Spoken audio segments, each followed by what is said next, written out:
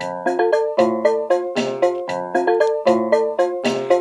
of October 2023. It's a new morning, a new week you give me. To you be honored? I glorify you, Jesus, the Son of God.